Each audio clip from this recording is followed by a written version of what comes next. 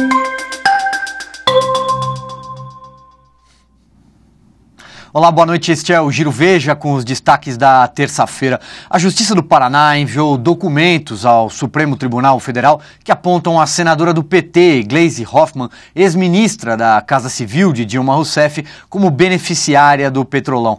Gleisi já é investigada pelo Supremo, mas a força-tarefa da Operação Lava Jato avalia que as provas colhidas agora são extremamente fortes e indicam o caminho do dinheiro roubado da Petrobras até as mãos da PT petista. As anotações apreendidas pela Polícia Federal, chamada contabilidade da propina, contêm os dizeres abre aspas PT, Glaze e PB. PB, importante dizer, refere-se ao ex-ministro Paulo Bernardo, marido de Glaze.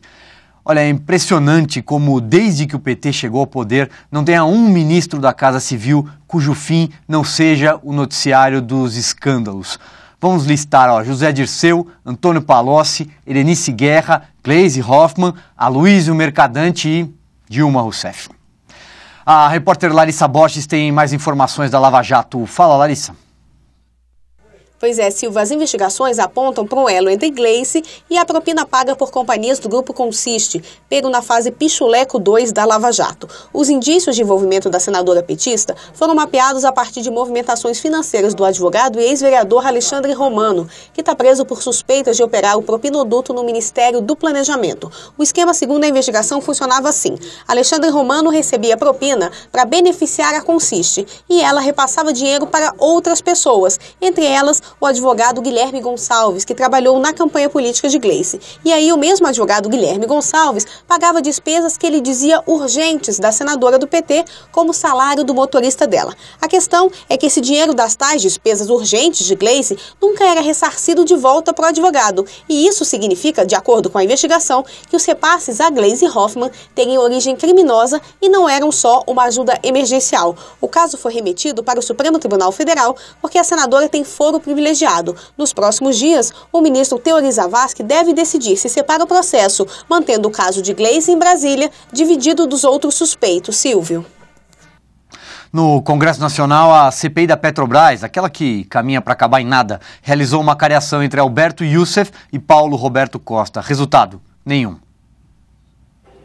Silvio, as contas da campanha de Dilma Rousseff em 2010 devem voltar a ser varridas para o escândalo de corrupção na Petrobras. Nesta terça-feira, o doleiro Alberto Youssef afirmou que um novo delator está prestando depoimento e vai tratar sobre a corrida eleitoral da petista. De acordo com o ex-diretor da estatal, Paulo Roberto Costa, o então coordenador da campanha de Dilma, Antônio Palocci, cobrou dele o valor de 2 milhões de reais. Em acariação realizada nesta tarde entre Youssef e Costa, outros nomes foram implicados no esquema de corrupção, entre eles os senadores Gleisi Hoffmann e Humberto Costa, do PT, Valdir Raup e Edson Lobão, do PMDB, e o ex-presidente do PSDB, Sérgio Guerra. Essa, Silvio, foi a primeira vez que a CPI da Petrobras colocou delatores frente a frente. Agora a economia, o dólar rompeu hoje a barreira dos R$ 3,60. É o maior valor em 12 anos. Luiz Lima. O cenário político conturbado ofuscou o alívio causado no mercado de câmbio após o anúncio de estímulos para impulsionar a economia chinesa. Com isso, o dólar aqui no Brasil, que operava em baixa durante boa parte do dia, terminou em alta de mais de 1,5%, fechando a R$ 3,60.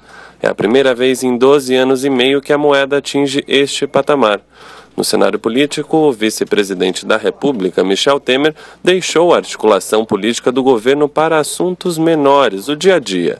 Temer explicou que seguirá na coordenação, mas de outra maneira, o que envolveria grandes causas. Ele também declarou que qualquer hipótese de impeachment da presidente Dilma Rousseff é impensável. Vale lembrar, Silvio, que o governo vem enfrentando diversos atritos com o Congresso, em especial com integrantes de seu partido, PMDB. Em Goiânia, a justiça iniciou o julgamento do assassino confesso do cartunista Glauco Talita Vespa.